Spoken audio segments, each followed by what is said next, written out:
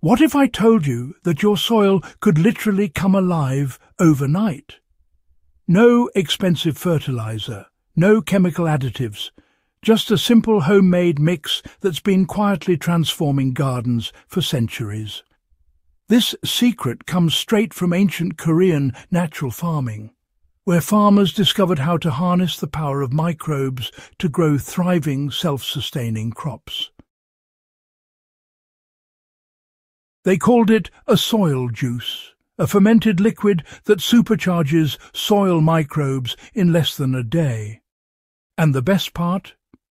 You can make it yourself using only three ingredients sitting in your kitchen or backyard. Today on Timeless Crops Haven, we'll break down exactly what this mixture is, how to make it with the right ratios, and how to use it so your plants explode with growth, naturally. Healthy soil is more than dirt. It's a living ecosystem packed with bacteria, fungi and other microorganisms. These tiny workers break down organic matter, release nutrients and build soil structure. But when soil is overworked, compacted or treated with chemical fertilizers, this living network dies off. That's why many gardens look dull, even when well fed. The ancient Korean approach solved this by feeding the microbes, not the plants. Instead of dumping nitrogen and phosphorus directly, the soil juice provides sugar and organic compounds that microbes devour instantly. Within hours they multiply, unlock nutrients and improve soil texture. You're not fertilizing the soil, you're reviving it. The recipe dates back to traditional Korean natural farming, a system built on fermentation and microbial activation. The key idea is to use local living materials, not industrial inputs. Fermentation breaks down complex plant compounds into forms microbes can digest easily, while sugar acts as a stabilizer and food source during the process. When applied, this fermented mix acts like a probiotic drink for your soil, waking up dormant organisms and inviting new ones to join the feast. Think of it as brewing life in a jar, one that starts showing results in less than a day. Here's the beauty. No obscure ingredients, no hard-to-find powders, just three simple things. Fresh green plant material. Choose any fast-growing healthy plants, grass clippings, vegetable leaves or wild greens.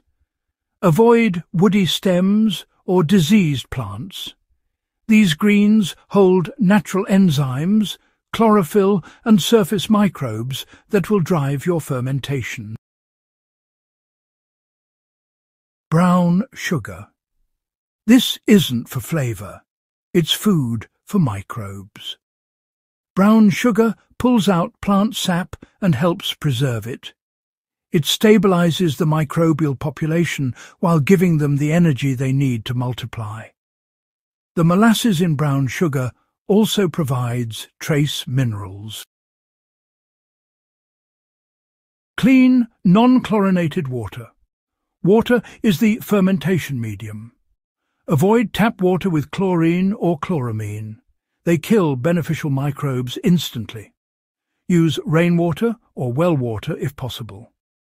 Each of these ingredients has a role, and together they form a perfect balance. Carbon, nitrogen and moisture. The three things microbes need to thrive. To get this right, the ratios matter, my friends. Here's the formula that's been passed down and tested by natural farming practitioners for decades, one kilogram, or about 2.2 pounds, of fresh plant material, one kilogram of brown sugar, and 10 litres, which is about 2.6 gallons, of clean water. Now, let's make it. First, chop the plant material into small pieces. The finer, the better, really. More surface area means faster fermentation. In a clean bucket or non-metal container, mix the chopped plants with brown sugar. Massage the sugar into the plant material until it looks glossy and begins to release juice. Next, pour in the 10 litres of water and stir gently. Don't seal the container tight. Microbes need air to breathe, you know. Cover the top loosely with a breathable cloth to keep out bugs but allow gases to escape. Place the container in a warm, shaded area, ideally around 25 to 30 degrees Celsius or 77 to 86 degrees Fahrenheit. Leave it to ferment for 24 to 72 hours. You'll know it's ready when you see tiny bubbles and smell a sweet, yeasty aroma. Like a mild fruit wine. Strain out the solids. The golden brown liquid you collect is your soil juice, a living microbial brew that's ready to use. This is where the magic happens. And, well, precision really matters. The concentrate is strong, so dilution is essential. Mix one part of your soil juice with 500 parts water. For example, add 20 millilitres, that's about 4 teaspoons, of concentrate to 10 litres, or roughly 2.6 gallons, of water. Now, here's how to apply it effectively. For soil drenching, pour the diluted mix directly at the base of your plants. The microbes will move through the soil, colonizing root zones and, you know, improving nutrient uptake. Apply early in the morning or late afternoon when the sun is mild. For foliar feeding, use the same dilution and spray it lightly over leaves in the early morning. This gives plants a quick nutrient boost while adding beneficial microbes that can suppress harmful ones. Avoid spraying during midday heat. The microbes and leaf pores don't like it. Apply once every two to four weeks during active growth. You'll see stronger roots, faster seedling establishment and richer, darker soil. If your soil is heavily depleted or recovering from chemical use, weekly applications for the first month can accelerate recovery. So, what's really happening underground? When you drench the soil with this fermented juice, you're delivering simple sugars and organic acids that microbes instantly consume. These microbes, in turn, release plant-available nutrients like nitrogen and phosphorus within hours. As they multiply, they also secrete natural glues that bind soil particles, improving aeration and water retention. Over time, your soil becomes crumbly and soft, holding moisture longer and resisting erosion.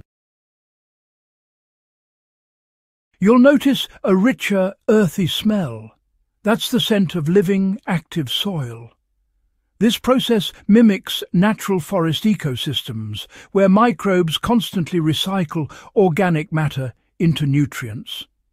By using the soil juice, you're accelerating that process in your own garden, bringing balance back to your soil's biology. Use only fresh, pesticide-free plant material. Chemicals or herbicide residues can disrupt fermentation or harm microbes. If your climate is cold, fermentation will take longer, up to three days. Don't rush it. The smell should always be pleasant and slightly sweet. If it turns foul or sour, discard and start again. Once strained, store the liquid in a cool, dark place. You can keep it for about a month, but fresh batches are always more potent. Avoid using metal containers. They can react with the organic acids during fermentation. And most importantly, never mix this microbial juice with chemical fertilizers or pesticides. Those chemicals will undo everything you're trying to build. This method isn't just practical. It's part of a long tradition of soil stewardship.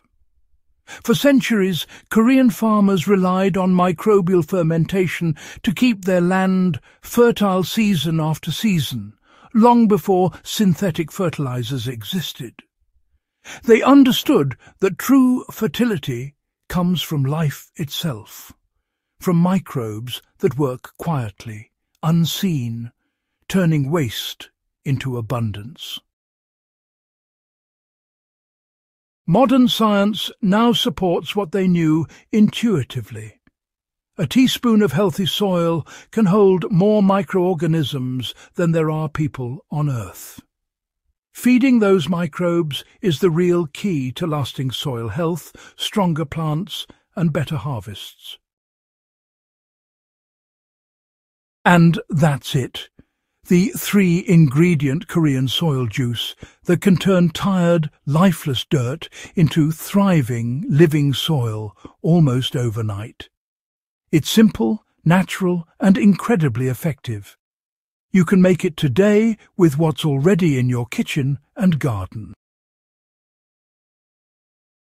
If this guide helped you understand your soil a little better, don't keep it to yourself. Hit that subscribe button on Timeless Crops Haven, give this video a thumbs up and share it with another grower who's ready to bring life back to their soil.